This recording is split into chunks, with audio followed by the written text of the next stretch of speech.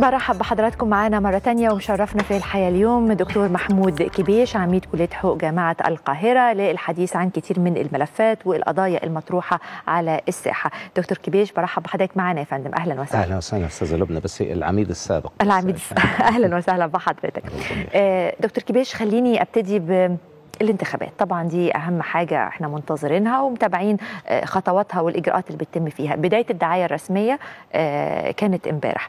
آه، عايزة أسأل حضرتك الأول المشهد بعد ما تم الإعلان عن أسماء أو عدد القوائم وأعداد المرشحين الفرديين. شايف شكل المنافسة إزاي؟ وطبعا الكشوف النهائية تعتبر قد أعلنت. امم آه، وبدأت الدعاية الانتخابية لكن لا زال في الأمر أمور. لأنه لا زالت بعض الطعون الطعون منظورة أمام القضاء آه، سواء في طعون أمام الإدارية العليا أو أمام آه، محكمة القضاء الإداري.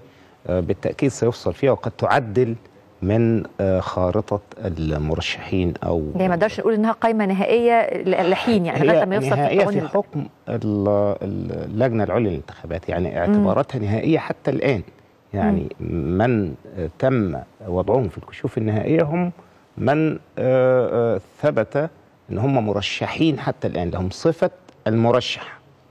مش المرشح المحتمل لهم صفة المرشح. خلاص. يظل كذلك إلى أن آه، يلغى ترشيحه بحكم من محكمة القضاء الإداري أو المحكمة الإدارية العليا بناء على طعن من الطعون المقامة في هذه آه، تنتهي صفته.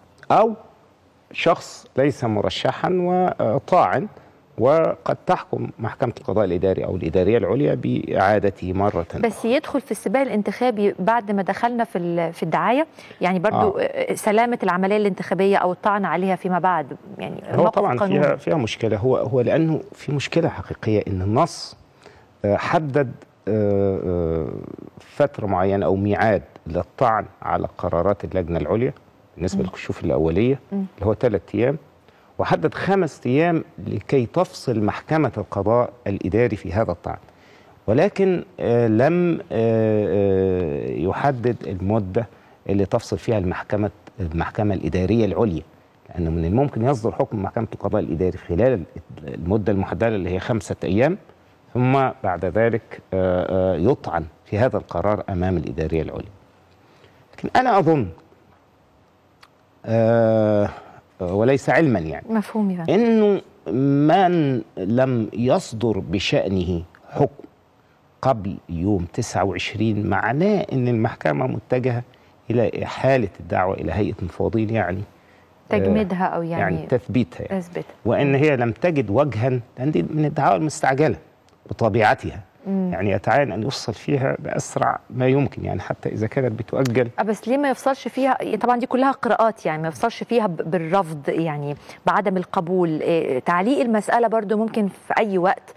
آه، يقول. لك أنا ليا أحقية آه من الناحية القانونية ممكن. آه. فإذا فصل آه. في هذه الدعوة بالموافقة على آه، آه، آه، ترشح أحد المتقدمين الذين سبق أن رفضوا. أيوة. طبيعي هيدخل في السباق الانتخابي. ده آه، يمكنه في هذه الحالة طبعا هتكوني حرمتيه من فترة دعاية انتخابية. يعني أنا عندي حاجة برضو م- بنحاول نفهمها إنه لما تم الإعلان عن القوائم آه وال- والمرشحين الفرديين بالنسبة للقوائم تحديدا اتقال في قائمتين لسه بيكملوا أوراقهم لسه حتى. الآن. هو هم دول صدر حكم بشأنهم. صدر حكم بشأن هذه القوائم اللي قيل إنه بعض أوراقها ناقصة مم. وهم آه، ادعوا يعني الإدعاء قد يكون صحيحا يعني آه. بإنه بعض الأوراق سرقت هم قدموا الأوراق صحيحة وبعض الأوراق سرقت آه. هم هذا ما قالوه وطعنوا على آه، قرار استبعاده وصدرت أحكام ب آه، دعواهم وبإعادتهم مرة أخرى أو بقبول, بقبول هذه القوائم أنا أعتقد أن هم الآن لا زالوا لم آه، يعلن ترش- ترشحهم هذه القوائم لم تعلن آه لا لسه بشكل رسمي لغاية لم يعلن. ترشحها آه، لكن المفروض إنه ينفذ الحكم اللي حصل إنه بعض القوائم أيضا أو بعض المرشحين اللجنة العليا للانتخابات طعنت على الحكم الصادر من محكمة القضاء الإداري أمام المحكمة الإدارية العليا. أو بمعنى آخر آه، هيئة قضايا الدولة طعنت وهي تطعن طبعا بناء على طلب اللجنة العليا للانتخابات. فستظل الأمور آه، برضو في آه، غموض. في في مش غموض هو في في حاجات غير محددة حتى الآن. آه. يعني بعض المرشحين قد في في آه، إحدى المرشحات أعتقد في طعن على آه، قبول هي رفض الطعن على آه، آه، على آه، أهم عدم. قبولها. آه. على قبولها. وأحمد عز اللي لسه طبعا آه، طعن قدام الاداريه وأحمد العليا. عز مم. كذلك هو طعن النهارده تقريبا مم. أمام الاداريه العليا. ف طيب خلينا مع الواقع اللي إحنا فيه دلوقتي إحنا في مرحلة الدعاية الانتخابية ف يعني ده رهان على اللجنة أو اختبار للجنة وأدائها خلينا أقول. الالتزام بضوابط الدعاية آه إنها تكون في الميعاد المحدد وبالآلية وبالكيفية وبسقف الإنفاق آه إنه يكون وفقا للقانون. اولا إيه هي المحددات والضوابط؟ والتفعيل برضو المشكلة في في النص ولا المشكلة في آلية التنفيذ؟ لا النص رائع. واضح. آه النص بيضع ضوابط حاسمة للدعاية الانتخابية تضمن ألا تحيد هذه الدعاية عن المصلحة عن عن فكرة الانتخابات ال- الصحيحة ال- التي لا تخضع لمؤثرات غير قبول الناس والرأي العام إلى غير ذلك. لكن ال- الضبط هذه الضوابط أو بمعنى آخر آه، آه، الالتزام بهذه الضوابط أمر في غاية الصعوبة. في اعتقادي أنا آه، إن لم يكن يعني كل هذه الضوابط خرقت وستخرق. يعني خرق خرقت مسبقا ببدء الدعاية من الانتخابيه قبل الدعاية ما آه، تبتدي. آه، آه. قبل بدء الدعاية الميعاد المحدد. أي. وستخرق آه، كلها. ليه بقى؟ ما عنديش. الآلية أضبط الكلام ده أو لأنه- أحط إيدي على الخروقات لأنه يمكن إحنا لا زالت الفعالية في تطبيق القانون غير قانون. يعني فعالية أو تفعيل إرادة. تطبيق القانون؟ هي محتاجة حسم في التطبيق الحقيقة. حسم حسم شديد يعني. آه، هل الامكانيات تسمح بهذا الحسم؟ ده بيصل الأمر إلى شط المرشح. يعني حاجة واحدة أنا هقول لك عليها يا أستاذة لبنى. آه، اتفضل مسألة ال- ال- القانون بيمنع الرشاوى الانتخابية. آه. وبيعاقب عليها. في- وفيها جريمة انتخابية تعتبر من الجرائم الانتخابية. دي مسألة بتمارس يوميا بشكل أو بآخر. يعني في صورة ولائم في صورة هدايا في صورة حفلات تقام آه، آه، لفنانين كبار ويدعوا الشباب أو ياخدوا الشباب ينقلون بأتوبيسات ليحضروا هذه الحفلات مج- مجانا مسابقات آه، آه، لأمور معينة فعل خير. طبعا لعضو المجلس علشان يبقى عضو برلماني كفء محتاج إنه يبقى رجل خير ولا المجلس محتاج رجل خير. المجلس مش محتاج رجل خير ولا هو محتاج يبقى راجل خير علشان دي مسائل آه اعمل خير دي حاجة بينك وبين ربنا. بينك وبين ربنا ولها طرق أخرى. أنت مش محتاج تكون عضو برلمان عشان تبقى راجل خير عشان تؤدي واجبك أو بمعنى آخر تؤدي آه، آه، رغبتك آه، في أن آه، تتطوع يعني بأعمال الخير فدي مسألة منتشرة جدا جدا لمن يملكون الأموال. ال- الدعايه أنا عايز أقول برضو رغم الضوابط الواضحة واللي, واللي, حددها القانون بدقة فيما يتعلق بالتعامل الإعلامي مع المشهد الانتخابي واللي بيمنع تماما إنه يتم عمل آه، دعاية غير مباشرة لبعض المرشحين أو لأحدهم إلا إنه هذا بيمارس من قبل الإعلام ويصعب يعني أو بمعنى آخر مش عارفين هل هيتم ضبط هذا الأمر ولا لأ. أما بيستضيف ده بيتكلموا عن استضافة ضيف معين في آه، إحدى القنوات آه، أو استضافة مرشح معين لها ضوابط. يعني حتى الضيف يعني لو إحنا إحنا في مرحلة الدعاية. نعم. ما يبقاش للإعلام مطلق الحرية إن هو يستضيف ما يشاء من يشاء يعني؟ لا. تستضيفي بقى يبقى ده نوع من الدعاية. تستضيفي مرشح. آه. اذا إذا تبين أنه للدعاية لهذا المرشح يبقى لازم تكون ما هو ما حدش يقدر يستضيف ال 2573 مرشح. يبقى استضافة مدفوعة. وتحسب آه. من الإنفاق. أيوه أيوه أيوه. آه لأنها؟ داخلة ضمن الدعاية ليه. فلازم يكون دافع مقابلها لازم دافع و... و... ويحسب وتسجل. من ضمن ال- ال- يبقى من الإنفاق من حسابه. الحساب اللي آه. بيحاسب على قدر الإنفاق اللي أنفقه يحسب منه. وسيلة الأمر- الإعلام تعلن الكلام ده آه برضه طبعا. الأمر الثاني ويبقى باين إن هي بتعمل له دعاية. الأمر الثاني لما تستضيفي ضيف آخر ليس مرشحا.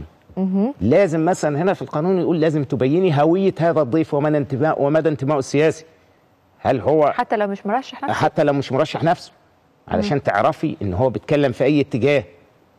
وهكذا يعني دي من الضوابط. لو قريتيها الضوابط اللي حطوها على للإعلام يعني لو دخلوا عليها. كمان برضو في الفيسبوك مواقع التواصل الاجتماعي دي ما حدش يقدر. يضبطها. دي هتضبط آه، دي ما؟ حدش يقدر يضبطها. إحنا بنتكلم على ما يمكن ضبطه لخاضع للسيطرة. مم. يعني على الأقل الخضع للسيطرة أنا أعتقد إنه يصعب تماما عمليات الإنفاق على الدعاية الانتخابية كيف يمكن ضبط هذه المسألة صعبة جدا لأنه واحد يقول لك أنا مش أنا اللي حطيت كل هذه اليافطة ال- ال- على ال- ال- اليفط. ده حد. بيأيدني حد بي... وأنا ما أعرفش آه. والمسؤولية دايما يقولوا في القانون الجنائي المسؤولية شخصية يعني أنا لا أسأل إلا عن فعل ثبت ان أنا اللي ارتكبته.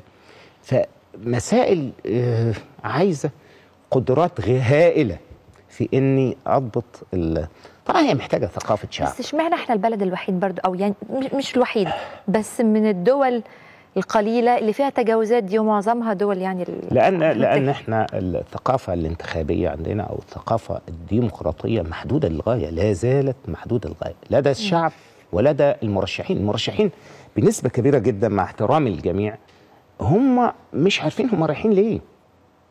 هم الكلام اللي بيكرروه بيسمعوه من ال ال في في وسائل تمام. الإعلام إن وظيفة عضو المجلس التشريع تشريع. والرقابة. ولا هو عارف يعني إيه تشريع ولا عارف يعني إيه رقابة. كل اللي حضرتك بتقوله ده بقى إيه خلينا نخاف من شكل البرلمان اللي جاي. بس لازم يكون لازم يكون في برلمان. نخاف زي بعض. مفيش مشكلة. بس لازم نخوض التجربة ولازم نستكمل خارطه الطريق ولازم يكون في برلمان. ومن الخطأ والصواب يمكن أن نتقدم في المستقبل لكن لا يمكن إن إحنا نقف آه، نراوح مكاننا يعني. لازم يحصل إن إحنا نخوض ونتعلم ونعلم والمفروض الحقيقة الأحزاب العديدة وده كلام بيقال كل يوم الحقيقة. مم. اللي هي وصلت ل 90 حزب ولا مش عارف إيه. دي بعد الانتخابات دي تكون آه، الانتخابات لها تأثير إيجابي. في إن هذه الأحزاب اللي لم تحظى بوجود حقيقي سياسي آه، في آه، هذه الممارسة الديمقراطية تتنحى. لأن إحنا مش هيحصل تجربة ديمقراطية حقيقية في مصر إلا إذا كان عندي حزب أو حزبين. بس حضرتك أصلا شايف أو متوقع إن البرلمان اللي جاي هيكون في تواجد حزبي قوي بالأساس يعني في ظل القوانين والمشهد والناس اللي مرشحة نفسها؟ يعني بتكلم على تواجد حزبي ضعيف. لا يعني تكتلات كبيرة. آه. تقصدي حضرتك. آه. يعني سميها احزاب سميها أي تسميه لا. لا هو مش هيكون فيها تكتلات كبيرة هيكون كلها يعني ال- المستقلين هيكون هم هو طبعا وفقا لنص الدستور آه، نفسه. آه، في- وفقا عفوا لنص قانون قانون آه، مجلس النواب. وأنا عندي طبيعي نسبة ال- القوائم. 80% والفردي 20 والفردي آه، الفردي إيه، 80 سوري آه، 20 قوائم فنسبة و80 الفرد فرد. أكثر. آه. لكن حتى القوائم اللي منتمين للقوائم ما هماش منتمين لفكر معين يا أستاذة لبنى. ما هماش منتمين لتوجه سياسي أو اقتصادي أو في السياسة الخارجية أو في أمر من أمور الدولة محدد بحيث أن الناخب يستطيع أن هو يختار على أساسه وإنما هم مجموعة أشخاص يمكن أي قائمة هتنجح بناء على إيه؟ بناء على إن فيها آه، زيد وعبيد وعمرو في القايمة دي فلهم مصداقية معينة لهم آه، يعني في ثقة معينة الناس بتتوخاها فيهم لديهم قدر من الكفاءة في نظر الناس ممكن ينتخبوا القايمة على هذا الأساس. لكن هو ما بينتخبش القايمة على أساس إنه الناس اللي فيها دول آه، بيعبروا قايمة كذا بتعبر عن اتجاه معين. فأنا هي بت- برضه الثقافة السياسية للناخب؟ أنا. بختار بناء على برنامج انتخابي؟ ما فيش يا فندم. هو في برامج انتخابية. أنا عايز أقول لو أنت حضرتك جبتي برنامج كل حزب أو كل مرشح أو كل ائتلاف لا يختلف. هما الكلمتين عايزين نحقق المساواة بين الناس نرتقي بالرعاية الصحية آه، نحقق العدالة نحقق العبارات العامة اللي هي بتكرر في كل برنامج انتخابي. لكن ما تقدريش تقولي مثلا زي في فرنسا عندك الحزب الاشتراكي ده له توجه معين معروف. يعني ال- ال- ال- الحزب ال- ال- الديمقراطي عندهم أو الحزب ال- طب المال السياسي يا دكتور كبيش يعني آه، في شبه إجماع إن المال السياسي طول عمره طبعا بيلعب دور آه، رئيسي في الانتخابات لكن في الانتخابات دي لا الموضوع كبير قوي هيلعب هيلعب وبقوة. آه. بقوة يعني آه، واضح تماما. أنا أنا بشوف من شكل الدعاية المبدئي كده. شوف مدى الإنفاق غير عادي. لدى ال- البعض بعض بعض المرشحين الحقيقة ده بيعبر. بس لما نسمع ويوصل لنا إن في شراء لمرشحين وفي عروض بمرتبات شهرية للمرشح حال نجاحه ففي فاتورة كده هتدفع يعني. بس لو كده يبقى مصيبة. بدون تسمية يعني آه، بس لا، أنا قصدي إنه. في فاتورة بقى يعني برضو إحنا في رجال أعمال بتصرف على أحزاب في آه، مرشح بيتم اختياره في قايمة أو في دايرة بعينها إنه قادر على الإنفاق هيشيل نفسه ويشيل اللي معاه. فأنا بتكلم بقى على الفاتورة أو المقابل لما العضو ده أو الحزب ده يدخل المجلس. طبعا لا يمكن هتكون فاتورة المصلحة العامه يعني لا يمكن هيكون نصب عينيه المصلحة العامه لا يمكن الحقيقة يعني. لكن في شرفاء في أكفاء يقينا. تقدموا وترشحوا آه لكي آه يعني يحققوا مصلحة عامة يعني يمارسوا الدور البرلماني الحقيقي اللي يساهم في آه تطوير الدولة آه يعني وفقا للدور المعهود به إلى البرلمان. في في بس أنا أعتقد إنه بقدر وجود هؤلاء في قدر أكبر من الناس اللي داخلين البرلمان إما سعيا لمصالح موهومة. موهومة. موهومة. آه لأنه أعتقد صعب إن حد يحقق مصلحة القادمة البرلمان. آه صعب حد يحقق مصالح آه. غير مشروعة من أعضاء البرلمان. حتى الحصانة. الحصانة دلوقتي بقت غير زمان. يعني زمان كان ال ال ال النائب العام ممكن يطلب رفع الحصانة في جريمة معينة.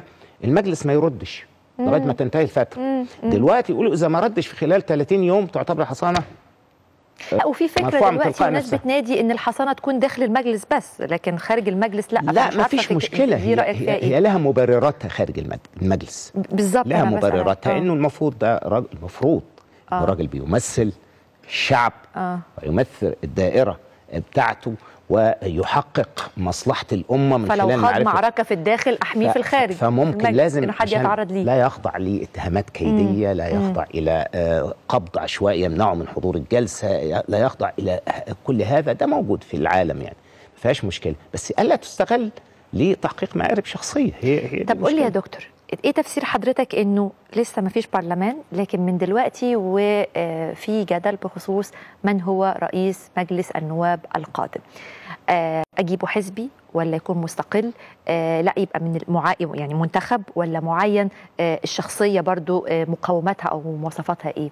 اولا الفكرة نفسها ومواصفات رئيس مجلس النواب شايفه إزاي. شوف أنا هقول لحضرتك آه، هو لم يظهر في المرشحين في وجهة نظري أنا حتى الآن. من يمكن أن يمارس هذا الدور لأنه دور, مش مش سهل. طبعا اللي هيختاروا اعضاء البرلمان اللي هينتخبوا لأن ده بالانتخاب. يعني أعضاء البرلمان هم هيترشح لرئاسة البرلمان من يترشح ده لو من بين. أعضاء البرلمان يبقى منتخب يعني منتخب من يكون الأعضاء. لا خاض العملية الانتخابية. لا لكن مش لو بالضرورة. لكن لو معين لو, لو معين الرئيس. القانون نص على أن حقوق المرش ال- ال- العضو المعين هي ذات حقوق العضو المنتخب. يعني اللي بيعينهم رئيس الجمهورية هو نسبة في المية يكون لهم ذات الحقوق فهيخضع برضو فمن الممكن انه يكون معين مم. أنا شخصيا شايف أصل ده منصب محتاج اولا آه، مواصفات خاصة جدا في هذا العمل بالذات مم. يعني محتاج إنه يكون عنده نسبة قبول هو عمره ما هيكون عنده قبول كامل من كل المرشحين لأن عندك أفكار مختلف مهما كان حتى لو ناس ما عندهاش فكر سياسي لكن كل واحد له وجهة نظر. فأنت محتاجة في إدارة هذا العمل اللي بيضم بت بت يعني بيضم ممثلي الشعب كله محتاجة واحد يكون عنده درجة من القبول معقولة من الكل عنده قدر من المرونة مع الحسم في إدارة الجلسات لأنه بيدير عمل خطير جدا عنده معرفة آه، قانونية. يعني معرفة آه، قانونية لا يستطيع أحد الأشخاص إن هو آه، يخاطبه لأن حينما حتى تتقني العمل وتستطيع أن تواجهي من يتحدث في البرلمان وتوزعي ال- الأدوار داخل البرلمان والمناقشات محتاجه يكون عندك علم بطبيعة ما يمارس. واساسا هو عمل آه، يعني قانوني في المجمل يعني. أنا أنا شايف انه ربما يأتي يكون من الأفضل يكون من لأن حتى الآن مش ظاهر في المرشحين آه، واحد فيه المواصفات اللي هي آه، المطلوبة لرئاسة البرلمان ممكن آه، السيد رئيس الجمهورية في من يختارهم آه، كمعينين آه، يا ريت يا ريت ال- آه، الرئيس السابق عدلي منصور يا ريت يقبل. آه، إنه يعين ويتولى هذه المهمة. غير الرئيس عدلي منصور إيه الأسماء الثانية برضو اللي ترشحها؟ ممكن آه، مستشار أحمد زند. عنده قدر كبير جدا من إنه آه، يحدث التوازن وال و- ويحظى بقبول الغالبية داخل البرلمان وعنده قدرة. في التخاطب مع آه، الناس وطبعا فضلا عن القدرة القانونية. آه، ممكن ممكن دكتور محمود موسى. كبيش لا. ممكن الأستاذ عمرو موسى برضه. لا ليه مطروح. يعني لا بنسمع إنه عرض برضو في كلام. لا لأن أنا لم يعني أنا اعتذرت عن خوض الانتخابات فأنا ما أحبش إن أنا يعني أدخل من من من مسلك آخر طب يعني. حضرتك قلت لي وممكن السيد عمرو موسى؟ ممكن ممكن مم. ممكن.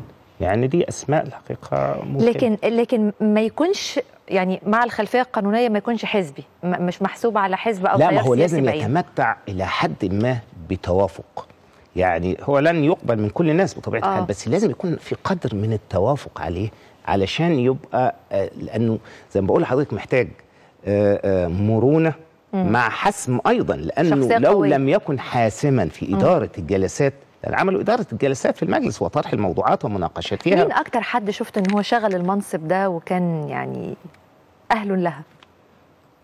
في منصب الدكتور فتحي السرور. ويقول من يقول غير ذلك. الدكتور فتحي السرور كان يعني هو أفضل من أدار جلسات المجلس. ماليش دعوة بالمسائل اللي هو آه. أديرت إزاي أو إنه كان في إيه في في السياسة في ذلك الوقت. لكن هو كان حكيما في إدارته. وحظي لكن بقبول حتة- الجميع حتة آه، أغلبية. اللي هو ساعة التصويت دي. لا طب ما هو هو ده اللي حاصل اللي في المجلس كده. ما هو المجلس كان ما كده يا كناش بنشوف يعني المجلس كان كل كده. رفع. ما هو المجلس كان الحزب الوطني هو الأغلبية. أيوه. هو لم يكن يتحكم على فكرة في المجلس. الناس اللي بيظنوا أن الدكتور فتحي سرور هو اللي كان بيوجه القوانين في اتجاه أو في آخر أو بيوجه المناقشات في اتجاه أو في آخر مخطئين. ال- ال- المناقشات بتوجه من تحت. هو لا يملك غير أنه يقر ما يحدث في المناقشات. بس عنده حكمته في إيه بقى؟ أنه يدير الجلسات في هدوء شديد. وحينما تثار مسألة قانونية كان يستطيع ليها. يناقشها آه. ويفسرها. آه. فيحدث عملية يعني يمنع نوع من ال- ال- التضارب أو ال- المشادات التي يمكن أن تحدث في المجلس. وهنا في هذا المجلس بالذات ممكن يحدث فيه لأن الناس طالعين من دي أول برلمان حقيقي بعد الثورة كله كمان عايز يظهر إن هو عضو آه. برلمان. وهتحصل. آه، حاجات آه، آه، أتمنى يعني إن إن من بعد يكون في 25 يناير حكمة في الإدارة. يعني الناس زمان ما كانش في حد قوي بيقعد يتفرج على جلسات مجلس شعب. الناس هتتفرج لكن الفترة اللي فاتت كلنا اتفرجنا. كل واحد عايز يظهر كفاءته يعني تمام. آه، طيب خلينا يا دكتور معلش نكمل الفكرة دي وغيرها من المواضيع بعد الفاصل إن شاء الله. مستمرين مع حضراتكم ودكتور محمود كبيش اللي مشرفنا النهارده في الحياة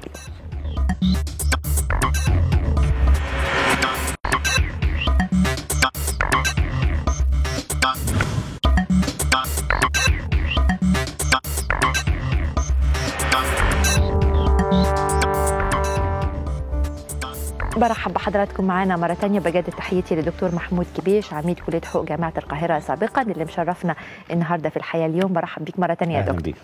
قبل الفاصل وإحنا كنا بنتكلم على البرلمان ورئيس مجلس النواب القادم. خلينا نتكلم على موضوع اللائحة لأنه في كلام سمعناه ومن تحديدا من آه، وزير الشؤون القانونية ومجلس النواب إن هم بيفكروا أو بيعدوا دلوقتي لائحة المجلس. وعلى طول سمعنا برضو في المقابل كلام من مرشحين آه، غاضبين من المسألة دي وقال ده هيفرض علينا وده هيجي قرار بقانون يسيبونا إحنا اللي نحط لائحة مجلسنا بمعرفتنا قانونيا الكلام ده يمشي إزاي؟ لا يعني هو دلوقتي المجلس غير قائم مم. ف آه، ربما في اللائحة تحتاج يقينا تحتاج إلى تعديل لأنه كان آه، الفترة كانت ظروف مختلفة تماما يعني كان في مجلسين مثلا مم. كان في مجلس النواب ومجلس ال- شور الشورى وكانت ال- ال- ال- ال- النظم مختلفة تماما. حصل يعني تغيرات واضحة. مم. فقد تحتاج اللائحة إلى تعديل علشان لما هيبدأ انعقاد البرلمان وتبدأ المناقشات وانتخاب الرئيس وما إلى ذلك يحتاج إلى استناد إلى قواعد وضوابط معينة. آه، ربما يحتاج الأمر إلى بعض التعديل. لكن هذا لا يمنع برضه علشان قد يكون معترضا ومعه حق إنه يكون من حق البرلمان بعد ذلك إنه يعيد النظر في لائحته. يعني يعني ده لن يعني يحجب تعمل له لائحة الأول يدخل على أساسها. بالظبط. أول جلستين يعني ثلاثة وبعد كده يبتدي هو يعدل أو يغير فيها. آه هذا لن يحرمه اطلاقا من إنه آه، آه، بيعيد النظر في اللائحة ويضع لائحة جديدة تماما للمجلس نفسه. مفيش مشكلة في هذا يعني. تمام. طيب بالنسبة ل أداء المجلس في ضوء التركيبة وفي ضوء القوانين المنظمة العملية الانتخابية وعندنا استحقاقات أو اختصاصات للمجلس ليها علاقة مثلا بالحكومة آه، تشكيلها سحب الثقة آه، كل هذه الأشياء حتة بقى الأغلبية والتصويت والأكثرية و- واختيار الأكثرية لل- للحكومة أو تشكيل منها ويبقى في ائتلاف بعد كده أو ائتلافات داخل المجلس العملية دي شايفها إزاي يا دكتور؟ لا يعني هو أنا بصرف النظر عن الواقع الذي سيتم ولي فيه رأي. مم. لكن حكاية النص الدستوري في ناس بيقولوا ما ننتقدش الدستور دلوقتي والتعديلات. أنا لا أطالب اطلاقا لست كمثل أولئك الذين سمعوا كلمة السيد الرئيس فعلى طول لما يعني استوحوا منها أو تخيلوا إن الرئيس عايز يعدل آه، الدستور بأسرع ما يمكن ومشوا في. الزفه أنا ضد هذا تماما. لكن هذا هذه ملاحظات أنا أبديتها منذ البداية منذ اللحظة الأولى. ولم ولا يعني ذلك أن الدستور في مجمله مقبول تماما. تماما يعني. لكن بعض النصوص قد تحتاج في المستقبل وليس وقتها إلى إعادة نظر.